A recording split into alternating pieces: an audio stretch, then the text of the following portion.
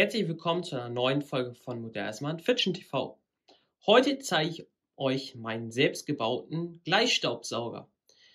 Der ist aus einem alten Märklin-Flachwagen entstanden. Da habe ich einfach die Seitentrennwagen habe ich einfach entfernt und habe dann mit CD-Platten, die habe ich dann zu Hause dann kaputt geschnitten, mit Skalpell oder Cuttermesser ganz vorsichtig, da muss man echt mit aufpassen, weil die auch schnell brechen. Denn alle schön geschnitten und dann in der Mitte ein PC-Ventilator 3030 eingebaut, sodass der die Ventilatorfunktion erfüllt, dass der die Sachen vom Gleisbett aufsaugen kann. Und ich wollte schon immer einen Gleisstaubsauger gerne mal haben. Und da hatte ich diesen Flachwagen noch zu Hause liegen und habe mir so gedacht, da baue ich mal einen raus. Und jetzt zeige ich euch mal die Funktionsweise und wie der auf der Anlage funktioniert. Viel Spaß und ich würde mich freuen über ein Abo und über Kommentare unterm Video. Viel Spaß! So, als erstes kommt die Funktionsweise.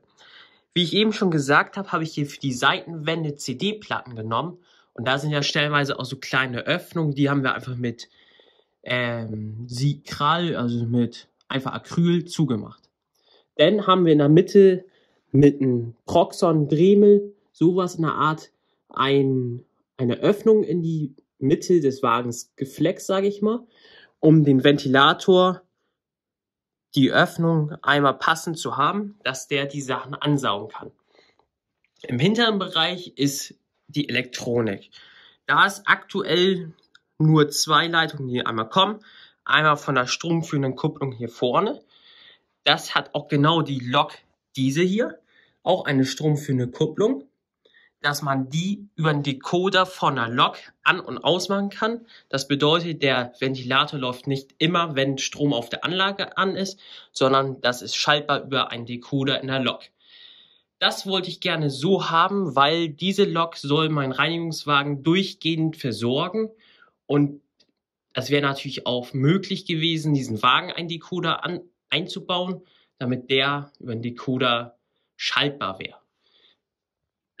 Also kommt der Strom einmal über hier die stromführende Kupplung und unter dem Wagen einmal die Masse aus dem rechten Drehgestell und in der Mitte habe ich dann auch noch mit so kleinen Bürsten und mit bisschen Stoff den Ansaugtracht von den Ventilator gebaut, damit der die bestmögliche Versorgung hat.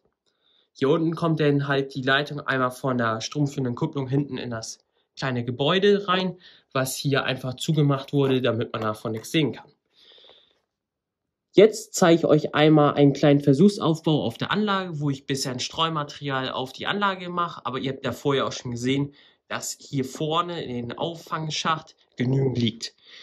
Als oberste Abdeckung habe ich hier auch aus CD-Platten hier was zusammengebaut und das ist einfach so eine Gartenfolie, damit nicht der ganze Staub oder die ganzen Streumaterialien oben rausfallen. Weil sonst wird der Ventilator ja alles hier hochpusten. Und jetzt zeige ich euch das mal auf der Anlage. So, der Versuchsaufbau ist fertig. Ich habe hier vorne einfach mal ein bisschen Streumaterial auf die Gleise gemacht. Das ist natürlich jetzt ein bisschen übertrieben, aber damit man das gleich sehen kann. Das soll ja auch nur eine Unterstützung sein, dieser Gleichstaubsauger als zu der normalen Reinigung mit Staubsauger und Reinigungswerkzeugen, weil dieser Wagen soll einfach im laufenden Betrieb mitfahren und halt den Staub, was er mitfahren oder mitnehmen kann, aufsammeln und dann regelmäßig gereinigt werden. Und jetzt zeige ich euch mal kurz, wie ich den Ventilator auf der CS3 einschalte. So, jetzt sind wir auf der CS3. Hier sehen wir jetzt die SBB Cargo. Da ist jetzt ein Ventilator-Symbol. Das kann man ja auch jederzeit einstellen. Und da über diesen Ausgang vom Decoder ist der Ventilator geschaltet, also die Strom für eine Kupplung. Jetzt hört ihr es bestimmt schon. Und jetzt fahre ich mal langsam los.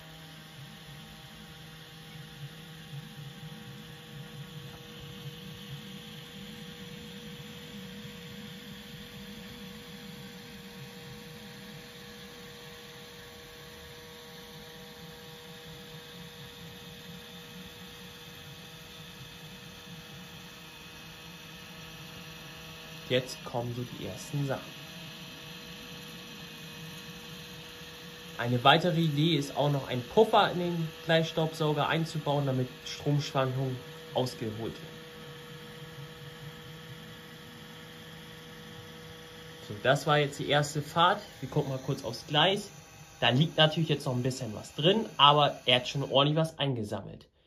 Das soll ja auch nur eine Unterstützung darstellen als das andere. Jetzt gucken wir uns mal gleich den Sauger kurz an.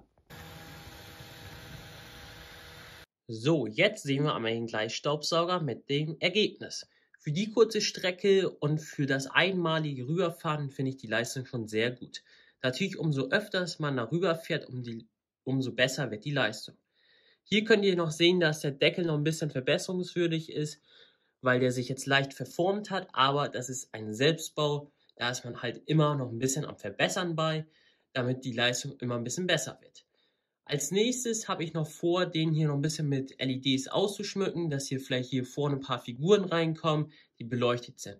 Aber das ist alles, was jetzt in der Zukunft kommt.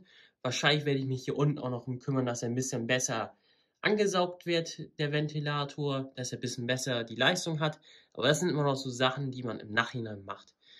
Ich wollte schon mal immer einen Gleisstaubsauger auf der Anlage haben, weil in Schattenbahnhöfen oder an Stellen, wo man nicht so gern rankommt, hilft dieser Ventilator natürlich sehr viel, weil der reinigt sehr gut ein bisschen Staub, Streumaterial, was auf der Anlage liegt. Und für einen Selbstbau, was nicht viel gekostet hat, aus CD-Platten, Ventilator und alten Wagen, ist die Leistung sehr gut. Ich hoffe, euch hat das Video gefallen. Ihr habt ein paar interessante Ideen gesammelt. Vielleicht baut ihr ja auch nochmal einen Gleichstaubsauger. Schreibt gerne was in die Kommentare und lasst gerne ein Abo da. Euer Modell ist Fiction TV.